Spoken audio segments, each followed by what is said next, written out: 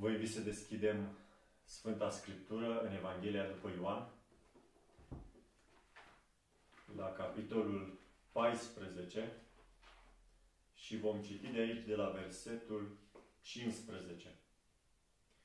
Ioan, capitolul 14, cu versetul 15. Dacă mă iubiți, veți păzi poruncile mele.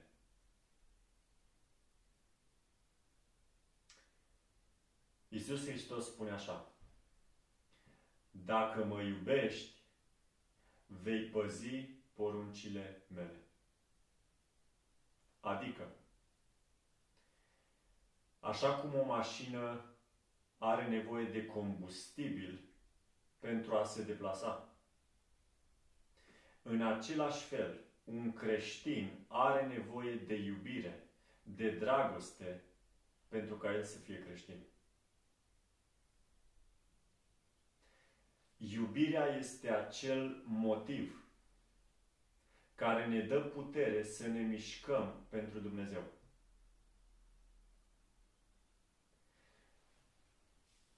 Dacă în viața și în experiența noastră de creștini descoperim că este o poruncă.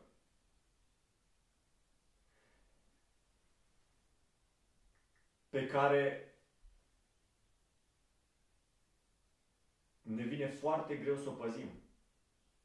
Dacă ne dăm seama că nu putem să ținem o anumită poruncă a lui Dumnezeu. Știți care este motivul, care este răspunsul la această problemă? Avem nevoie de mai multă dragoste din partea lui Dumnezeu. Pentru că numai aceia care îl iubesc pe Dumnezeu vor păzi poruncile Lui. Însă, dragi prieteni, noi nu avem dragoste în noi înșine. Nu este adevărat? Uitați-vă ce spune 1 Ioan, capitolul 4, cu versetul 9. În această ocazie aș dori să medităm împreună la câteva gânduri deosebit de prețioase, deosebit de importante. Aș dori să vedem împreună care este motivul pentru care noi păcătuim sau pentru care noi alegem să păcătuim împotriva lui Dumnezeu. Cu alte cuvinte, de ce păcătuim? Și de ce continuăm să rămânem în păcat? Și apoi, bineînțeles, cel mai minunat lucru pe care vrem să-l descoperim împreună este cum putem să oprim această atitudine de răzvrătire față de Dumnezeu și față de legea sa. Cum putem să, cum putem să ajungem în acel loc în care noi să nu mai continuăm să păcătuim împotriva lui Dumnezeu. Uitați-vă ce spune aici Sfânta Scriptură. 1 Ioan capitolul 4 cu 9. Despre dragostea lui Dumnezeu. Dragostea lui Dumnezeu față de noi s-a arătat prin faptul că Dumnezeu a trimis în lume pe singurul Său Fiu ca noi să trăim prin El. Și dragostea stă nu în faptul că noi am iubit pe Dumnezeu, ci în faptul că El ne-a iubit pe noi și a trimis pe Fiul Său ca jertfă de ispășire pentru păcatele noastre. Deci noi nu avem dragoste noi înșine ca să-L iubim pe Dumnezeu. Noi doar putem să reflectăm dragostea lui Dumnezeu. Dar Dumnezeu este acela care ne iubește. Însă fiți atenți acum la următorul gând. Dacă mă iubiți, spune Biblia, veți păzi poruncile mele. Adică oricine îl iubește pe Dumnezeu va păzi poruncile Lui. Însă Dumnezeu ne-a iubit și ne iubește pe noi înainte ca noi să fi ținut vreo poruncă. Dragostea lui Dumnezeu față de noi s-a manifestat deja mai înainte ca noi să ținem poruncile. Uitați-vă cu mine împreună în uh, Roman, capitolul 5, cu 6 la 8. Aici este un alt pasaj biblic care întărește acest, uh, acest gând al faptului că Dumnezeu ne-a iubit înainte ca noi să păzim poruncile Lui. Roman 5 cu 6 la 8. Căci pe când eram noi încă fără putere, Hristos la vremea cuvenită a murit pentru cei nelegiuiți. Pentru un om neprihănit cu greu ar muri cineva, dar pentru binefăcătorul lui poate că s-ar găsi cineva să moară. Dar Dumnezeu își arată dragostea față de noi. Pe când, mă scuzați, prin faptul că pe când eram noi încă păcătoși, Hristos a murit pentru noi.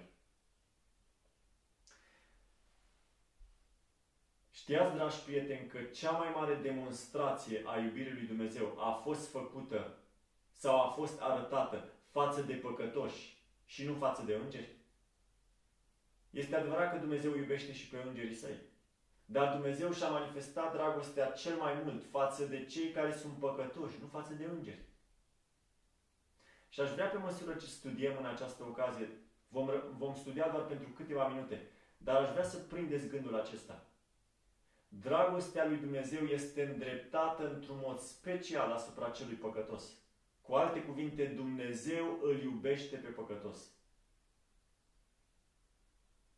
Rețineți acest gând deosebit de important. Știți care este unul din modurile în care noi putem să înțelegem că avem o imagine greșită cu privire la dragostea lui Dumnezeu? Vi s-a întâmplat vreodată să vă uitați la o anumită persoană din jurul din jurul vostru. Da? Poate la pastorul care vă, vă slujește la biserică, poate te uita la un frate, la o soră, la, la o persoană căruia îi merge bine. Și te uiți așa uneori și spui, eu cred că Dumnezeu chiar îl iubește pe acest om. Uite, se vede că Dumnezeu îl iubește și că Dumnezeu are grijă de el. Și bineînțeles, când ai spus acest lucru, tu automat te pui pe tine într-o poziție mai inferioară. Adică mi-aș dori ca Dumnezeu să mă iubească și pe mine cum îl iubește pe El. Dragi prieteni, dacă ne-am surprins vreodată gândind în felul acesta sau simțind în felul acesta, este o dovadă clară că noi încă nu am înțeles cu adevărat dragostea lui Dumnezeu față de noi.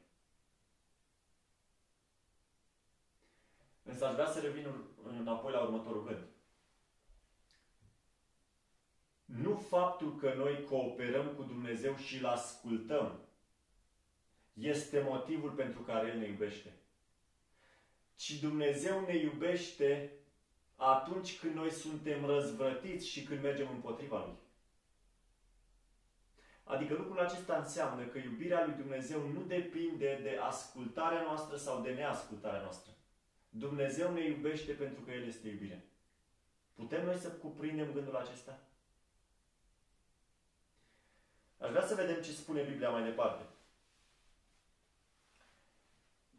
Haideți să ne gândim la următorul fel. Este vreun om pentru care să nu fi murit Domnul Isus Hristos când și-a dat viața pentru noi? Sunteți de acord că răspunsul este nu? În mod categoric? Adică Domnul Isus Hristos și-a dat viața pentru toți. Și pentru toți, la ce mă refer? pentru toți păcătoșii. Cea mai clară dovadă că Hristos a murit pentru păcătoși este exact ce se întâmpla în acele ore, în acele ceasuri, când Domnul Hristos urma să și încheie viața Lui pe acest pământ. Amintiți-vă de următoarea scenă. Era undeva la ora 3, după amiază, când Domnul Isus Hristos și-a dat Duhul și a murit pentru păcatele noastre. Iar în acele ceasuri de dinainte de moartea lui și imediat după, s-a întâmplat ceva. Acel centurion roman care stătea la piciorul crucii lui Isus și care a văzut toată scena răstignirii Domnului Hristos, s-a uitat la Fiul lui Dumnezeu și a spus cu adevărat acesta este Fiul lui Dumnezeu. Adică el a crezut Dragostea pe care Dumnezeu a manifestat-o la cruce în acele momente a fost atât de puternică încât l-a determinat pe acest centurion să-și manifeste și el dragostea sau să răspundă dragostei lui Dumnezeu. Încrezându-se în iubirea sa. Însă acum gândiți-vă la următorul lucru. Știați că au fost trei persoane care au fost câștigate de dragostea lui Isus manifestată pe cruce chiar atunci când El murea? Unul dintre ei a fost centurion roman. Vă amintiți care a fost un altul? Al doilea a fost Simon din Cirene. Se spune că fiul lui Simon era ucenici ai Domnului Isus. Însă Simon nu l-a acceptase încă pe Isus. Și în momentul în care Domnul Hristos mergea spre Calvar, spre Golgota, purtând acea cruce grea, la un moment dat el a căzut sub povara crucii. Și Simon din Cirene a avut privilegiul să ducă crucea lui Hristos mai departe. Acest om a fost copleșit de iubirea lui Dumnezeu. Și în momentul în care Domnul Hristos a murit în acea după amiază, omul acela pentru totdeauna și-a predat viața lui Dumnezeu. El a fost câștigat datorită iubirii lui Hristos. Și mai este o persoană. Cel de-al treilea este tâlharul de pe cruce. Tâlharul acela care în ultimele momente ale vieții lui, știind că este un mare păcătos, un ucigaș, că a făcut numai rău toată viața lui, privește cu speranță la singura lui scăpare. Privește la Domnul Isus. Și privind la iubirea aceea care se emană, Domnul Hristos îi spune, astăzi îți spun, vei fi cu mine rai. Această iubire manifestată de Isus pe cruce în acele ultime momente a câștigat inima acelui tânăr. Deci rețineți, avem trei persoane diferite care au fost câștigate. Trei oameni păcătoși care au răspuns iubirii lui Dumnezeu și a căror viață s-a schimbat pentru totdeauna în ziua aceea. Acum este interesant de reținut următorul fapt. Simon din Cirene era din Africa. Tâlharul de pe cruce era din Asia. Și centurionul roman era din Europa. Africa, Asia și Europa reprezintă întreg pământul. Adică mesajul pe care Domnul Hristos vrea să ne-l transmită prin acest fapt este următorul. Lucrarea de mântuire și de salvare a oamenilor, iubirea lui Dumnezeu manifestată la cruce, se întinde până la marginile pământului și cuprinde pe orice păcătos prieten. De oriunde ai fi, Oricare ar fi fost experiența ta, fie că ești în situația târharului, fie că ai, toată viața ta ai fost un ucigaș, ai făcut numai rău și te-ai împotrivit lui Dumnezeu, fie că ești un om asemenea lui Simon din Cirene, care a auzit despre Evanghelie, dar, dar a tot amânat să-și predea viața lui Isus. Sau fie că ești asemenea romanului, acestui sutaș, care era un păgân. Nu contează situația în care te găsești. Iisus a murit în acea după amiază pe crucea aceea pentru salvarea celor păcătoși. Și prin, prin salvarea acestor trei persoane, din punct, locuri diferite, mesajul este atât de clar. De aceea, după învierea sa, Domnul Hristos le-a spus ucenicilor, mergeți până la marginile pământului și propovăduiți Evanghelia la orice făptură. Lucrarea ucenicilor era ca ei să meargă și să spună păcătoșilor despre ceea ce se întâmplase la cruce, despre faptul că Isus a murit pentru ei și și-a arătat dragostea față de ei, în speranța că aceștia vor răspunde iubirii lui Dumnezeu. Acesta este gândul pe care aș vrea să rețineți. Pe cine iubește Dumnezeu, dragi prieteni, cel mai mult? Pe păcătoși. Vă amintiți când ai farisei și cărturarii îl criticau pe Domnul Isus, dar uite, s-a așezat la masă cu vameșii și cu păcătoșii. Era adevărat? Da, era adevărat. Dar în cercul iubirii lui Hristos putea să intre oricine. Domnul Hristos n-a respins niciodată pe nimeni. Lui Isus îi făcea plăcere să stea cu păcătoșii. Pentru că El a venit pentru cei păcătoși, El n-a venit pentru cei sfinți. Și iubirea lui Dumnezeu se manifestă către cel păcătos. Avem nevoie, frați și surori, dragi prieteni, să înțelegem acest adevăr deosebit de important. Însă așteptați încă câteva momente.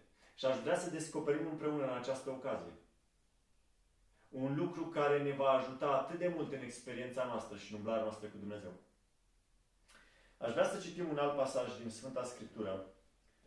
Este un pasaj foarte bine cunoscut. Gândul pe care aș vrea să reținem împreună cu tot ce am studiat până în momentul acesta este că dacă există totuși îndoială în inima mea sau în inima ta, cu privire la iubirea lui Dumnezeu față de noi, știți care este modul în care totuși putem să alungăm această îndoială din inima noastră? Este prin faptul că alegem să privim la Isus și nu la noi înșine. Știți ce se întâmplă când privim la noi? Când omul privește la viața lui, pe zi ce trece, el descoperă tot mai mult cum este inima lui rea și răzvrătită și încăpățânată. Și când omul se vede în acea situație și vede cât este de descurajantă situația lui, omul acela își pierde orice nădejde. Adică, cu cât privesc mai mult la mine, cu atât o să-mi vină mai greu să cred că Isus mă poate iubi. Dar, dragi prieteni, aici este exact minunea pe care vreau să o înțelegem. Domnul Isus Hristos ne iubește în ciuda tuturor defectelor și slăbiciunilor și păcatelor noastre.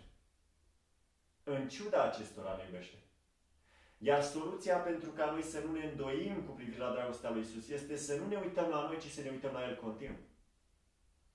Vreau să vă întreb, când cineva se uită la Isus, când studiază viața Lui, când privește la cruce, este adevărat că în inima Lui se se trezește această conștiință a faptului că Isus îl iubește?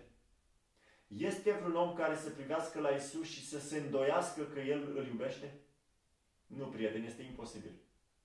De fapt, crucea este acel loc în care dragostea lui Dumnezeu față de cel păcătos se manifestă în modul cel mai vizibil. Atâta timp cât un păcătos continuă să privească la cruce zi de zi, oră de oră, el va avea mereu proaspăt în mintea lui faptul că Isus îl iubește. Chiar și atunci când el cade și iarăși se ridică, și iarăși cade și iarăși se ridică. Faptul că ține ochii ațintiți la cruce îl face să, să, să simtă această iubire a lui Dumnezeu în mod continuu. Și exact de lucrul acesta avem nevoie, prieteni. Dați-mi voie să vă citesc următorul pasaj. Este un pasaj foarte bine cunoscut. Nu uitați că Dumnezeu dă soare și peste cei buni și peste cei răi. Dumnezeu nu dă soare peste cei răi și peste cei buni. Dumnezeu nu dă soare pentru că unul este ascultător și Dumnezeu îi retrage soarele celuilalt pentru că este neascultător. Nu, prieten. Dumnezeu își arată iubirea față de toți pentru că El este iubire. Versetul pe care vreau să-l citim este Ioan 3 cu 16. Cu siguranță cunoaștem acest verset biblic. Spune așa Biblia, fiindcă atât de mult a iubit Dumnezeu lumea, încât a dat pe singurul său fiu, pentru ca oricine crede în el să nu piară, ci să aibă viața veșnică. Da, prieteni, este adevărat că acela care ascultă de Dumnezeu are binecuvântarea ca rezultat și cel care se răzvrătește are blestemul ca rezultat. Dar acesta este o consecință Dumnezeu nu alege în mod arbitrar să-l facă pe cel rău să sufere sau să facă pe cel bun să se bucure. Este consecința alegerilor noastre. Dumnezeu nu este părtinitor. El îi iubește pe toți la fel. Însă acum priviți la versetul acesta, spune, fiindcă atât de mult a iubit Dumnezeu lumea încât a dat pe singurul său fiu pentru ca oricine crede să nu piară. Și atunci poate vă întrebați dacă Dumnezeu iubește pe toți atât de mult, pe toți păcătoșii. De ce nu-i salvează pe toți? O, dragi prieteni, aici este problema. Biblia spune pentru că oricine crede. Dumnezeu lasă iubirea Lui să se reverse peste întreaga omenire, în mod egal, în măsură egală. Dar dacă noi luăm umbrela și o punem deasupra capului nostru și oprim binecuvântarea lui Dumnezeu să ajungă să cadă peste noi, spuneți-mi, va cădea acea binecuvântare în inima noastră? Niciodată. Deci, cu alte cuvinte, noi avem puterea alegerii prin care putem să respingem această iubire a lui Dumnezeu. Și dacă facem lucrul acesta, înseamnă că noi singuri ne-am închis accesul la iubirea lui Dumnezeu. Și noi singuri ne privăm de această dragoste. Iar un om care face așa, se îndepărtează de Dumnezeu. Dumnezeu nu pleacă niciodată de lângă el, dar omul se îndepărtează de el. Iar Isus în momentele acelea, frații mei, știți ce spune Biblia? el suferă. De fapt, ori de câte ori un om alege să meargă contrar voinței lui Dumnezeu și să trăiască în răzvrătire, Iisus suferă împreună cu acel om. Iisus nu-l abandonează. Haideți să vedem dovada iubirii lui Hristos manifestată față de noi. Spune așa Biblia, în Filipeni 1 cu 6. Versetul acesta este minunat. Pe lângă faptul că Isus ne iubește, uitați-vă cum își manifestă El dragostea. Sunt încredințat că acela care a început în voi această bună lucrare o va isprăvi până în ziua lui Isus Hristos. Deci planul lui Isus este ca El nici de cum să nu-ți dea drumul vreodată. Nu, El nu vrea să-ți dea drumul, nici măcar nu are în gând așa ceva. El nu te va lăsa din mâna Lui niciodată. Crede lucrul acesta.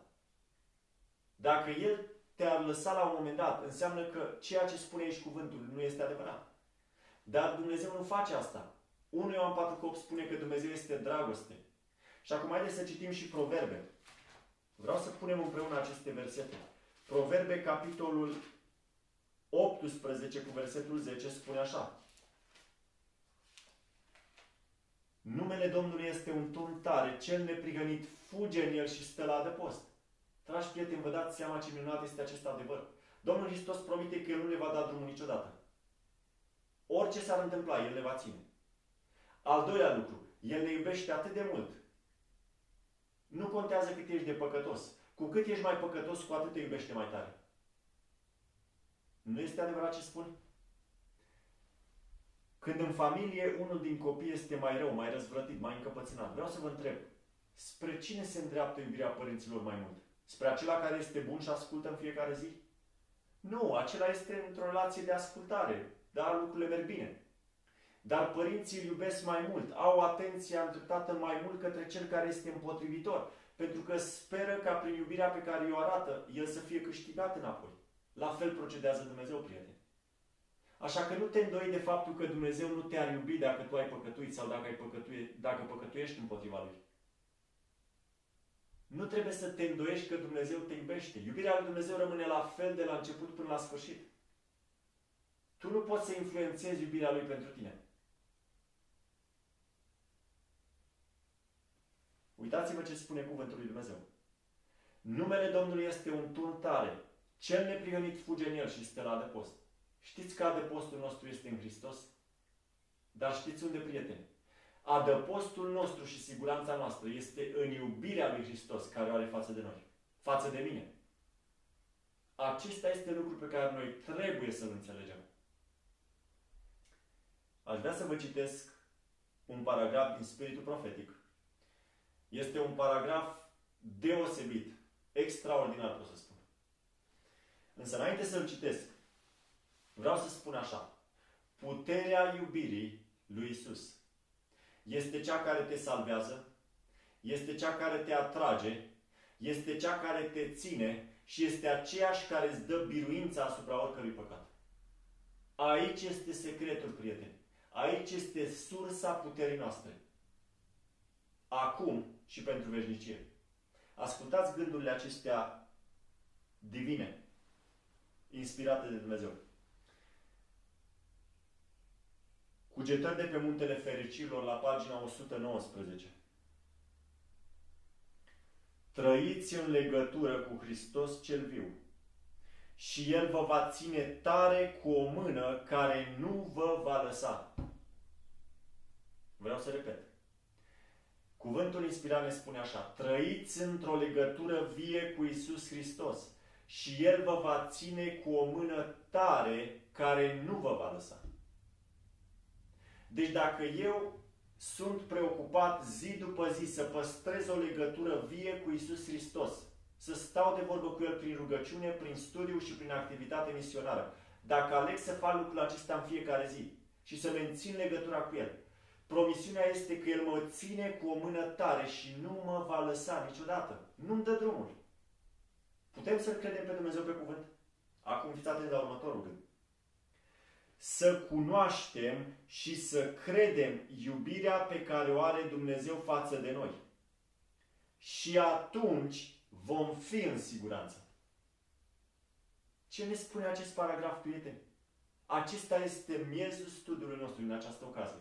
Și dacă uitați tot ce am spus, dragi prieteni, nu uitați niciodată paragraful acesta și gândul acesta. A cunoaște și a crede iubirea lui Hristos față de mine, personal vorbesc acum, este siguranța mea, dragi prieteni, și siguranța ta.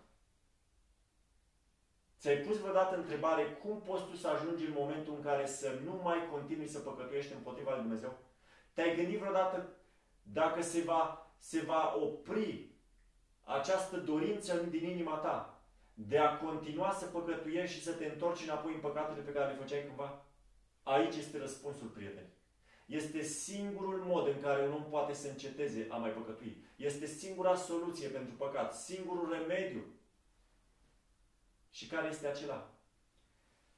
Să cunoaștem, spune cuvântul, și să credem iubirea pe care Dumnezeu are pentru noi.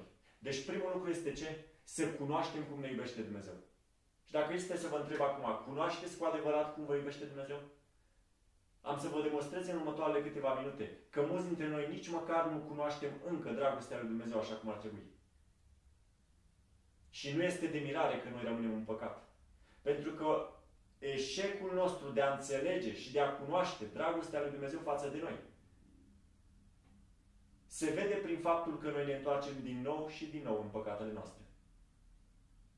Deci să cunoaștem și să credem iubirea lui Dumnezeu pentru noi, spune sora White, atunci vom fi în siguranță. Ascultați! Iubirea aceasta este o fortăreață de neînvins împotriva tuturor înșelăciunilor și asalturilor lui Satan. V-ați putea să aveți în momentul acesta o protecție împotriva tuturor uneltirilor și asalturilor pe care le, pregătește satana pentru sufletul vostru? Știți care este răspunsul la această problemă? Este ca iubirea lui Isus față de mine și față de tine. Să fie cunoscută și apoi să manifestăm încredere în acea iubire. Dragi prieteni, vreți să spuneți că acesta este motivul pentru care noi continuăm din nou și din nou să păcătuim împotriva lui Dumnezeu? Vreți să spuneți că noi nu avem o înțelegere sau că eu nu am o înțelegere corectă cu privire la dragostea lui Dumnezeu față de mine? Și că n-am înțeles îndeajuns cât de mult mă iubește Dumnezeu? Adică atunci când eu mă răzvrătesc și când calc o porunca lui Dumnezeu, este pentru că eu nu văd în momentul acela cât de mult mă iubește Dumnezeu? Răspunsul este da, prieten. Aici este toată problema. Ceea ce eu am nevoie este ca să reîmprospătez în memoria mea, în continuu, faptul că Isus mă iubește nu pentru că eu fac binele, ci pentru că El este bun. Repet acest gând. Eu am nevoie să reîmprospătez în mintea mea tot timpul faptul că Isus mă iubește. Nu pentru că eu fac binele, ci pentru că El este bun. Iubirea lui Dumnezeu nu poate fi influențată de ceea ce eu fac. Și dacă, avea, dacă există această idee în mintea noastră că noi putem să facem anumite lucruri și cumva să-L îmbunăm pe Dumnezeu, să-L determinăm să ne iubească. Dați-mi voie să vă spun, dragi prieteni, că noi încă nici măcar nu am început să-L cunoaștem pe Dumnezeu, dacă gândim în felul acesta. Biblia spune foarte clar că Isus a venit și a murit pentru cei păcătoși. Acum aș vrea să încheiem cu o imagine. Gândiți-vă la Adam și Eva care se aflau în grădina Edenului. Vine șarpele la Eva și o ispitește. Știți ce a făcut șarpele de fapt în grădină? A pus la îndoială în mintea Evei și a lui Adam pe urmă faptul că Dumnezeu îi iubește cu adevărat. Știați că despre asta a fost vorba? I-a făcut să se îndoiască de iubirea lui Dumnezeu pentru ei în mod personal. Și cum a procedat el? A venit și a sugerat lui Eva următorul lucru. A pus o întrebare cu privire la restricția pe care a impus-o Dumnezeu.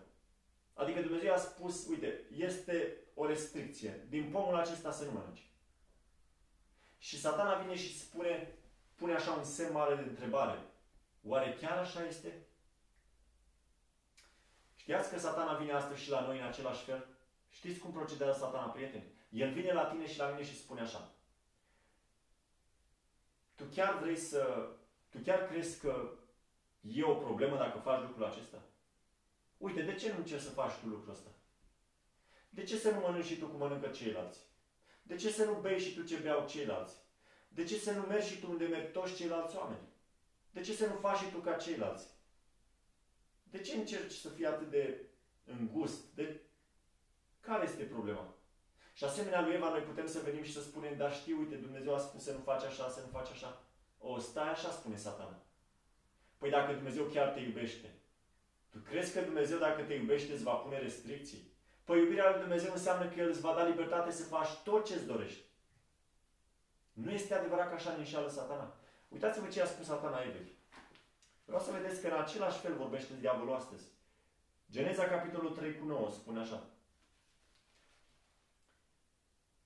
Mă scuzați. Geneza, capitolul 3, cu versetul 1. Șarpele era mai șire decât toate fiarele câmpului pe care le făcuse Domnul Dumnezeu. El a zis femeii, oare a zis Dumnezeu cu adevărat să nu mâncați din toți pomii din grădină? Rețineți expresia aceasta și cuvântul acesta. Toți pomii din grădină. Ce a răspuns Eva la această întrebare? Putem să mâncăm din, după plăcere din orice pom din grădină, dar despre pomul cunoștinței binelui și răului, Dumnezeu a zis să nu mâncați, căci în ziua în care veți mânca din el veți muri negreșit. Deci Eva știa că Dumnezeu a pus o restricție cu privire la unul dintre acei pomi din grădină. Dar satana vine și spune așa. Oare a zis Dumnezeu să nu mâncați din toți pomii din grădină? Și dragi prieteni,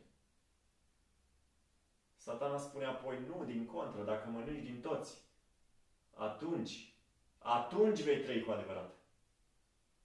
Nu este adevărat că satana face la fel și astăzi. Nu vine el și ne spune că putem face de toate, că putem să mâncăm tot ce vrem, că putem să facem tot ce ne place nouă. Și Dumnezeu va continua să ne iubească așa. Ce face satana, prieteni? El ne face să ne îndoim de modul în care ne iubește Dumnezeu pe noi. El ne face să credem că Dumnezeu nu ne-a iubit cu adevărat. Când Eva s-a dus spre pomul cunoștinței binelui și răului, ea credea în iubirea lui Dumnezeu. Dar când a plecat de acolo, avea mâinile pline de fructe fructele interzise. Și inima era atât de încântată că a, a întâlnit un străin la care chiar îi pasă de binele ei. Dar Eva era înșelată, prieteni. Și imediat după ceea ce s-a întâmplat a intervenit frica. Biblia spune că în dragoste nu este frică. De ce se temea Adam și Eva? Pentru că i-au pierdut simțul. Rețineți gândul acesta. Ei au pierdut simțul acelei cunoașteri a iubirii lui Dumnezeu. Adică ei nu mai înțelegeau și nu mai puteau să vadă cât de mult iubea pe ei Dumnezeu, în realitate. Și în momentul în care, înaintea ochilor noștri, ascultați cu atenție acest gând, în momentul în care noi suntem în, în punctul de a comite păcatul, știți ce se întâmplă, prieteni? Iubirea lui Dumnezeu pentru mine și pentru tine, pentru noi, este cumva încețoșată. Satana face în așa fel încât noi să nu putem înțelege, să nu putem vedea cât de mult ne iubește Dumnezeu. Și acela este modul în care El ne poate determina să păcătuim împotriva lui Dumnezeu. Aici este toată problema. Aș dori să închei cu următorul gând.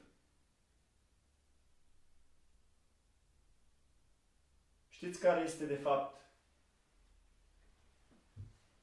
acel lucru care mă poate păzi, așa cum ne spune și paragraful pe care deja l-am citit acel lucru care mă poate ține pe mine să nu mai păcătuiesc, să nu mai merg împotriva lui Dumnezeu.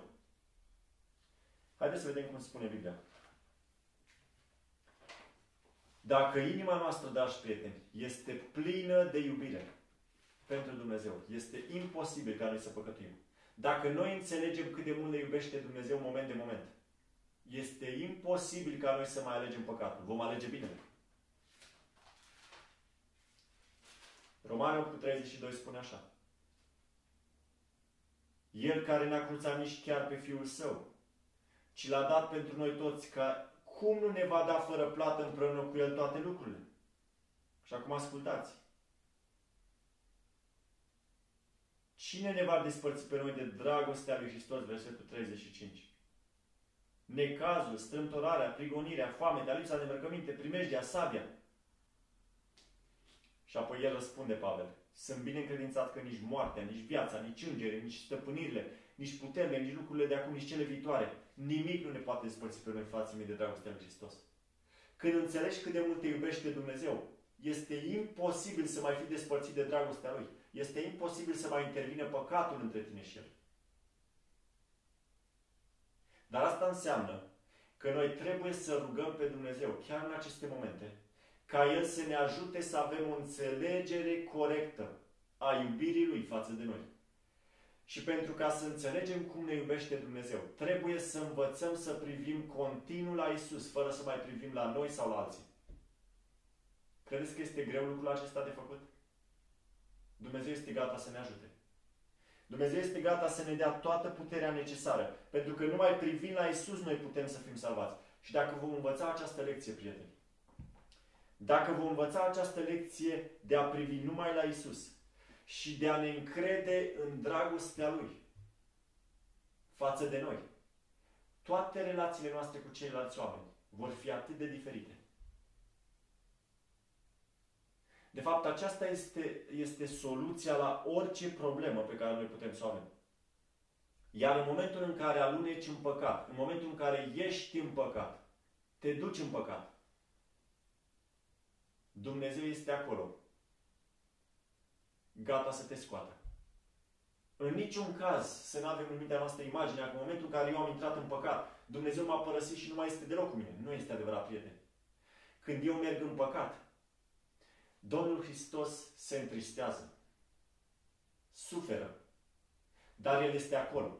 Și știți ce așteaptă El? Așteaptă ca tu să zici un singur cuvânt să te elibereze și El imediat te-a prins și te-a scos de acolo. Și El va face lucrul acesta în continuu pentru că te iubește. El nu are niciun plan să dezerteze. Dragostea Lui nu dezertează, nu pleacă, nu te lasă, nu te părăsește. Pentru că El a venit să moară și să mântuiască pe cei păcătoși. Dacă Isus ne-a iubit când noi eram răzvrătiți și împotrivitori față de El cu totul, acum că noi am început să facem pași către El, chiar dacă mai cădem, oare Isus ne, nu ne va iubi pe noi? Cu atât mai mult, prieteni. Când spun cu atât mai mult, nu este în sensul că dragostea lui Dumnezeu este în creștere și se modifică după un anumit timp. Nu, dragi prieteni. Iubirea lui Hristos este la fel de intensă, de la început și până la sfârșit. El nu poate să ne iubească mai mult, pentru că ne iubește întotdeauna la maxim. Dar noi trebuie doar să avem încredere în această iubire. Și trebuie să o cunoaștem, prieteni. Este o știință. Este o înțelegere la nivel personal. Fie ca Dumnezeu să ne dea parte de această experiență deosebită. Când, vem, când noi vom înțelege lucrul acesta pe deplin, noi vom ști că nu trebuie să facem nimic pentru ca să determinăm pe Isus să ne iubească, ci El ne iubește deja. Și dacă te simți un mare păcătos și te uiți înapoi a ta și vezi numai păcate, de la început până la sfârșit, este cea mai mare oportunitate a ta să crezi că Isus este acolo și te iubește atât de mult pentru că El a venit să moară pentru tine înainte ca tu să răspunzi în vreun fel iubirii sale. Gândul acesta, dragi prieteni, ne va aduce atât de mult confort sufletesc în viața noastră și în umblarea noastră cu Dumnezeu. Fie ca Dumnezeu să ne dea parte de această bucurie, să ne facă parte de această bucurie, de a cunoaște această iubire pe care o are Dumnezeu față de păcătoși, dragi prieteni. Nu uitați lucrul acesta. Dumnezeu îi iubește pe păcătoși. Dumnezeu să ne binecuvinteze pe fiecare.